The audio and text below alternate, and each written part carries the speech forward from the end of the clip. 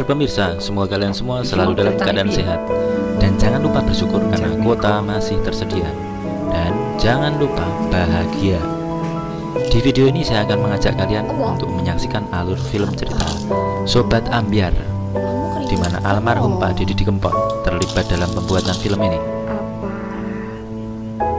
Menonton film ini secara keseluruhan memang membuat ambiar. Lagu dan pengambilan gambar dari film ini sungguh membentuk harmoni yang mempermainkan perasaan penontonnya. Dan tentu saja pesan saya ketika kalian menonton film ini, jangan lupa siapkan tisu karena saya nggak yakin kalian kuat menahan air mata menyaksikan adegan-adegan romantis, menyedihkan dan mengharukan di film ini. Film ini menceritakan kehidupan seorang pemilik kedai kopi di Solo bernama Jatmiko.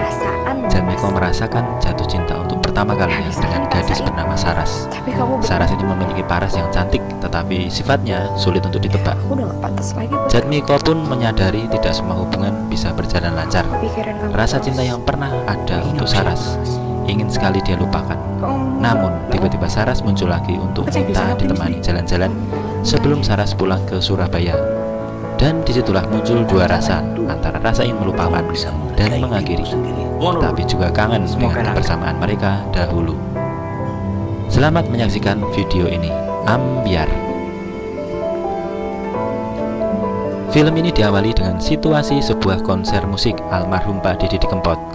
Ketika lagu Kalung Emas dinyanyikan, semua terbawa suasana. Dan ada seorang pemuda yang begitu menghayatinya sampai pingsan di tempat. Setelah dibawa ke tempat yang aman, pemuda tersebut tersadar dari pingsannya dan Pak Didi Kempot datang menanyakan apa yang terjadi. Dan akhirnya pemuda tersebut menceritakan apa yang dia alami. Dan dari sinilah film ini berawal. Seorang pemuda bernama Jadmiko memiliki sebuah kafe kopi. Dia dibantu oleh sahabatnya bernama Kopet. Memang namanya agak vulgar ya, namun kafe tersebut sepi pelanggan dan sering menombok. Jatmiko hampir menyerah dengan keadaan itu dan suatu malam muncul seorang wanita bernama Saras datang ke kafe tersebut. Paras cantik Saras membuat Jatmiko kelepek-kelepek. Wanita tersebut memesan segelas kopi racikan Jatmiko. Kopi yang dibuat Jatmiko bernama Tembang Manis, semanis ceweknya yang memesan. WK, WK, WK. Setiap hari Saras datang ke kafe tersebut dan menurut Kopet itu adalah kesempatan untuk minta nomor HP cewek tersebut agar bisa PDKT lebih lanjut. Nah, sosok Jatmiko yang polos dan lugu membuat Kopet gregetan karena kesempatan untuk melakukan PDKT dengan si cewek disia-siakan Jatmiko. Anjani, adik Jatmiko juga mendukung Jatmiko untuk PDKT ke cewek tersebut. Namun, beberapa kali kesempatan Jatmiko gagal untuk minta nomor HP si cewek. Pada suatu hari, Jatmiko mendapat kesempatan untuk mengantar pulang cewek tersebut itu ke kosnya. Karena si cewek tertidur, maka Jatmiko itu menunggu di dalam mobil sampai si cewek ini terbangun. Cewek tersebut curhat kalau dia sering ke kafe untuk mengerjakan skripsi. Karena kalau di kos, dia tidak bisa konsentrasi. Banyak cowok-cowok yang mengaku sebagai fansnya yang sering mengganggu dia. Jatmiko mempersilahkan pada si cewek ini kalau ingin mengerjakan skripsi, bisa di kafenya saja. Dan dia berjanji bahwa cowok-cowok tersebut tidak akan datang ke kafe dan mengganggu Saras. Dan benar saja, siang itu ada dua orang cowok bernama Tommy dan Anton bertengkar di kafe milik Jatmiko. Ternyata mereka adalah fansnya Saras. Maka, buru-buru Jatmiko ke kos Saras untuk mengabari kalau si Tommy dan Anton ada di kafe.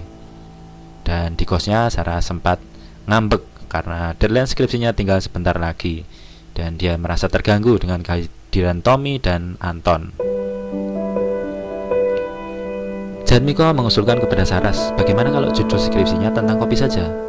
Warisan keluarga Janmiko yang dinamakan Tembang Manis. Saras setuju dan Janmiko mengajak Saras pergi ke rumahnya untuk memperlihatkan cara pembuatan kopi mulai dari pemilihan biji kopi pilihan sampai cara mengsangrai biji kopi. Dan saking groginya, Jatmiko sampai menumpahkan biji kopi yang disangrai. Karena waktu itu Sarah juga ikut-ikutan mengsangrai kopi. Dalam pertemuan itu mereka saling curhat dan diketahui bahwa Jatmiko ini orang tuanya sudah meninggal karena kecelakaan bis.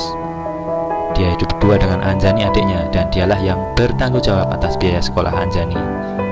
Sedangkan Sarah sendiri hanya memiliki seorang ibu karena bapaknya pergi meninggalkan mereka ketika masih kecil.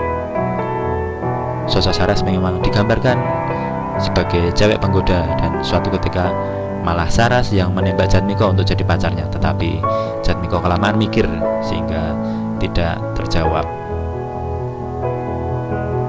Setiap hari Jatmiko menemani Saras untuk menyelesaikan skripsinya dan sekali jalan-jalan keluar rumah. Dan akhirnya Saras selesai ujian skripsi dan dinyatakan lulus.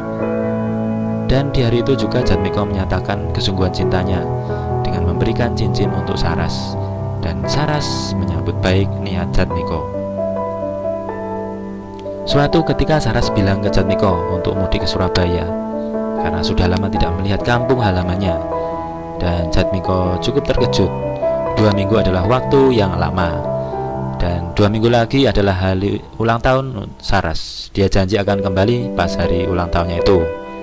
Namun ada kekhawatiran dalam diri Jatmiko karena pesan-pesan yang dia kirim untuk Saras tidak pernah direspon oleh Saras. Karena beberapa kali telat bayar sewa kios untuk kafenya, sang pemilik kios Pak Arif hampir menyita BPKB mobil Jatmiko. Namun, tiba-tiba ada Tommy dan Anton datang ke kafe dan mengatakan bahwa mereka akan membuat event musyawarah loro ati. Ya, semacam acara curhat-curhat, masalah kehidupan percintaan, dan sesekali menyanyikan lagunya almarhum Pak Deddy ambiar itu. Karena Saras belum merespon pesannya Jatmiko, maka Jatmiko memutuskan untuk menyusul ke Surabaya dan dibawanya hadiah boneka beruang besar itu sebagai surprise yang akan diberikan kepada Saras. Dan di depan rumah Saras, Jatmiko memberikan surprise itu. Tetapi Saras malah kaget. Sikapnya berubah 180 derajat, tidak seperti biasanya. Ketika Jatmiko menanyakan kepada Saras kenapa tidak pernah menghubunginya, Saras malah banyak alasan. Dan tiba-tiba muncul lelaki bernama Abdul yang diketahui sebagai bos di tempat Saras bekerja sekarang. Dan Abdul ini langsung memeluk Saras. Jatmiko terdiam seribu bahasa. Saras mengatakan kalau dia sayang pada Jatmiko, tetapi Mas Abdul lebih paham apa yang selama ini Saras cari. Ini tentang perasaan dan tidak dapat dipaksakan. Dan akhirnya Jatmiko membawa pulang kembali bonekanya itu ke Solo. Di dalam perjalanan pulang ke Solo, Jatmiko sempat diajar oleh orang-orang di jalan karena dengan bonekanya itu dia mengganggu kenyamanan umum. Sesampainya di Solo, beberapa hari Jatmiko tidak keluar dari kamarnya dan hanya menghabiskan waktu untuk meratapi nasibnya dengan menangis di dalam kamar. Hingga akhirnya Anjani dan Kopet menasihati agar Jatmiko melupakan Saras. Itulah yang terbaik. Dan Anjani punya rencana menjodohkan Jatmiko dengan ibu-ibu penjaga kantin di sekolah Anjani. Dan si ibu itu malah akhirnya curhat masalah percintaannya, yaitu karena ditinggal oleh pacarnya. Akhirnya Anjani dan Kopet membuat program 21 hari melupakan mantan. Caranya adalah selama 21 hari Jatmiko harus menutup akses ke Saras, menghapus foto-foto dari beranda medsos dan membuang semua barang kenangan tentang Saras. Nah, pas lagi mau buang boneka beruang yang seharusnya untuk kado Saras, eh Sarasnya malah muncul dan Saras bilang dia kangen Jatmiko dan minta Jatmiko untuk menemaninya jalan sebelum Saras meninggalkan kota Solo. Saras sempat meminta maaf dan karena sudah mengganggu waktu Jatmiko, juga berpesan pada Jatmiko untuk menjaga kesehatan, jangan sampai sakit. Dan akhirnya Jatmiko lulus juga.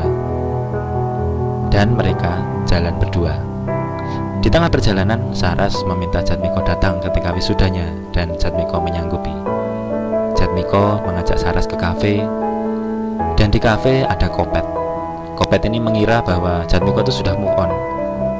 Ya tiba-tiba Saras masuk ke kafe dan Kopet terkejut dan merasa bahwa Jatmiko mempermainkan dia karena Jatmiko sudah janji untuk melupakan Saras. Dan kenyataannya dia malah menerima kembali kehadiran Saras. Hari wisuda pun tiba, berbalut kebaya hitam, Saras keluar dari ruang wisuda disambut oleh para fansnya. Dan Jatmiko hadir di situ dia juga memanggil Saras dan menyerahkan bunga ucapan selamat. Nah ketika suasana lagi mau romantis datanglah Abdul ini pacar Saras. Dan dia bilang surprise Malah Jatmiko akhirnya dicuekin dan malah dia diminta tolong untuk jadi tukang foto Saras dan Madul dan sungguh menyakitkan berada di posisi Jatmiko saat itu.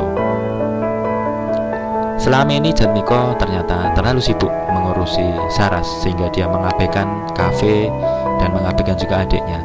Bahkan tanpa dia sadari, Anjani ini sempat akan drop dari sekolahnya karena Anjani ini terlalu sibuk mengurusi kafe sehingga pelajarannya itu mengalami ketertinggalan dan terjadilah pertengkaran antara Anjani dan Jatmiko.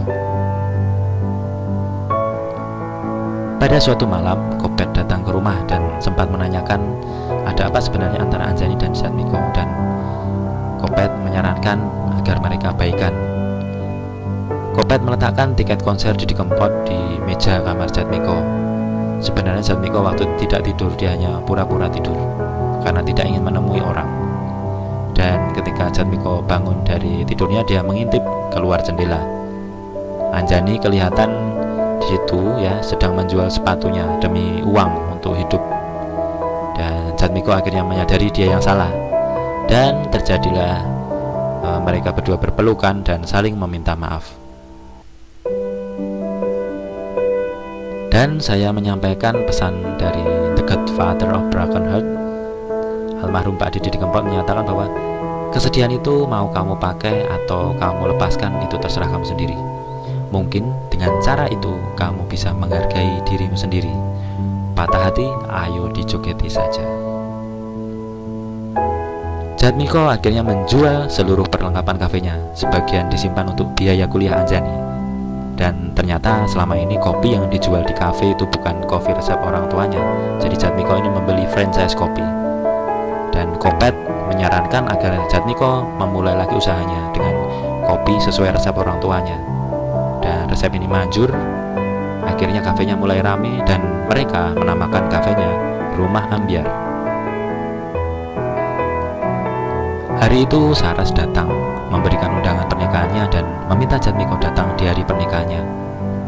Saras mengembalikan kembali cincin yang pernah diberikan Jatmiko kepadanya dan Jatmiko terima kasih kepada Saras karena Saras dia bisa menghargai dirinya sendiri dan bisa menghargai resep orang tuanya. Dan dengan kesatria, Jatmiko mengucapkan selamat kepada Saras dan Abdul. Di akhir cerita, Jatmiko mendapatkan kekuatan untuk bangkit lagi melalui lagu-lagu almarhum Pak Didi Kempot yang ambiar. Sekian dan sampai jumpa di lain kesempatan. Salam sehat.